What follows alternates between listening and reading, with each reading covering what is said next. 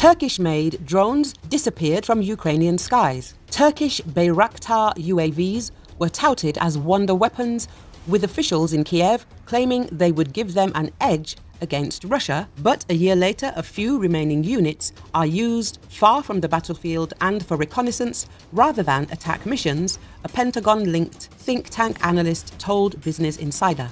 Ukraine purchased dozens of Bayraktar TB 2 strike drones and used them to strike Donbass even before the conflict with Russia began last February.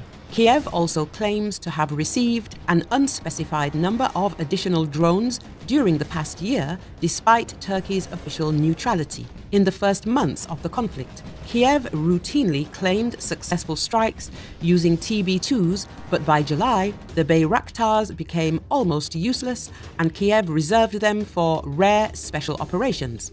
Ukrainian pilots told Foreign Policy at the time.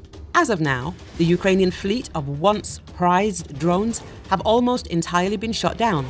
Business Insider wrote, citing an expert in unmanned and robotic military systems at the Center for Naval Analysis, Samuel Bendett.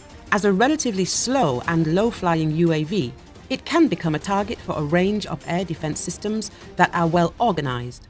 Bendett said, adding that once the Russian military got its act together, it was able to down many TB2s.